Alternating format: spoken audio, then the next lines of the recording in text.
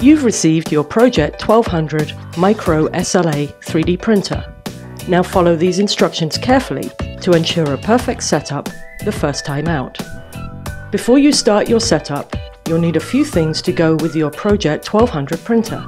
Lint-free paper towels, a pair of nitrile protective gloves, and safety glasses. To open the box, pull the grip handle tabs out and then remove the grip handles from the box on both sides. Hang on to all of the packaging material. If you have to return your printer for any reason, it has to be repackaged in the same box it was shipped in. Lift the outer box off the printer. Remove the accessories box and the upper foam insert. Remove the printer from the box. Be very careful. There, now you're ready to install the bulb. Open the accessories box and remove the USB cable, the print platform, the curing bulb, the power supply, and materials cartridge. Be sure that the plastic filler in the material support assembly is secure prior to turning the ProJet 1200 over. After turning the machine over, open the top right-hand door on the front.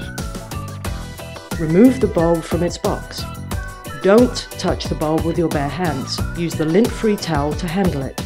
Insert the bulb end into the curing space, being very careful not to touch the bulb or scratch the mirrors. Slide the bulb upwards to connect into the socket until it is secure.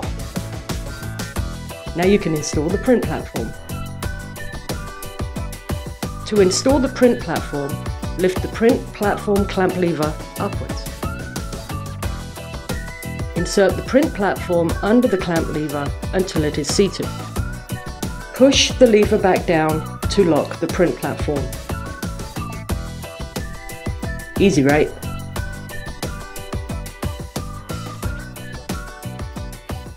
In your web browser type 3dscentral.3dsystems.com and click on Create an account. Your user ID will be your email address. And create a password that you can remember. Then type in your printer's serial number, which is located at the back of your ProJet 1200. After you register, you should get an email confirmation with a link to the login page. From here, you can also access user guides for the ProJet 1200, as well as sample files and the Geomagic print software download.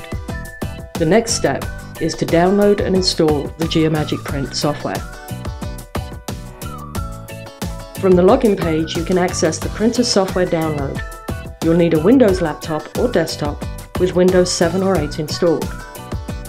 Select Products from the top menu, and then go to Professional 3D Printers. Now select ProJet 1200 from the drop-down menu.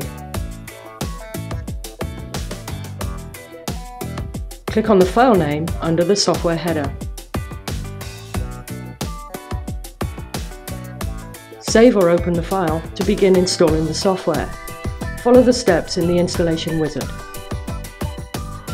Now that our software is installed, let's connect the printer. Plug the AC power cord into the wall and then connect the power supply to the power inlet on the printer. A series of screens will appear as the printer boots up. To connect to a network, you can use either Ethernet or USB. To connect via Ethernet, plug a connected Ethernet cable into the Ethernet port.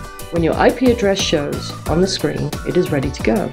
To connect via USB, connect your computer to the ProJet 1200 using the USB cable. Wait just a few minutes as the necessary drivers install onto your machine. This is the point where you need to activate your printer. Start up the Geomagic print software on your desktop. Select Post Cure from the home page screen. Complete all of the information starting with your printer's serial number. Only complete the final box if you are a reseller. Then select OK. The next step is to install the materials. Do not touch the materials with your bare hands. Always use protective gloves and wear safety glasses.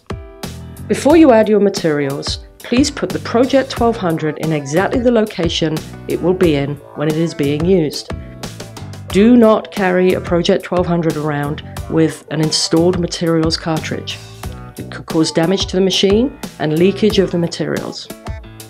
Lift the material cartridge clamp lever upwards to raise the cartridge clamp. Fold back the material cartridge label. Insert the material cartridge into the support and under the material cartridge clamp. Make sure the cartridge is seated correctly in the pocket or else a leak could occur which will damage the ProJet 1200. Push the lever down to lower the cartridge clamp. At this point, go to your Geomagic Print software and check that the system can read the cartridge information before you peel off the cartridge cover. Now, carefully pull the label off the cartridge. Do not leave the build chamber door open or place the machine in direct sunlight, as this will harden the material prior to printing. Double check to make sure that there is a platform installed in the build chamber, close the door, and you are ready to print. To see videos on how to use the Geomagic Print software, please visit www.3dsystems.com.